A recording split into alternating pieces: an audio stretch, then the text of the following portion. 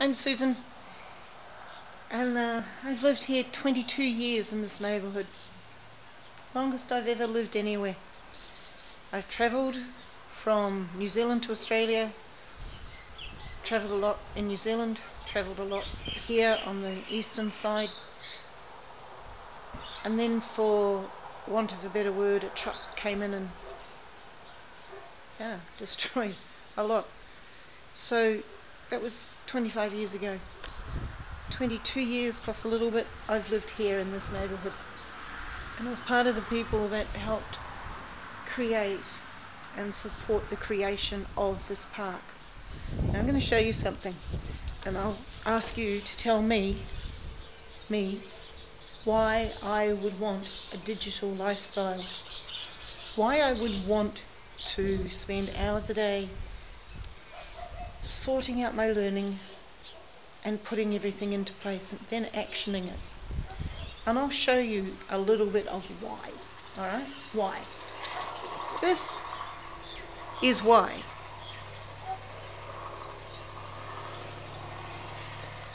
Okay, maybe it's not, you know, maybe it's not hugely like a war zone. But I'll tell you something, when you come here and you think, I'm going to check it out for a bar. I'm going to check it out for a barbecue. And you find this, and you go, "Wow, what has happened to the place?" You know, when, when we when we turned up, it was like a slum. It improved. The mindset has come back. And I don't care if it's drugs, ice or whatever. I got asked late last year, would I ever get fed up with the lifestyle of tra travelling? what? Stupid question. But anyway, I answered it and said no. No, I would not. In fact, with my digital lifestyle, my own alternative is to go to places. It's probably safer in a war zone if you think about it because nothing there belongs to you. You can travel through. With that, think about it.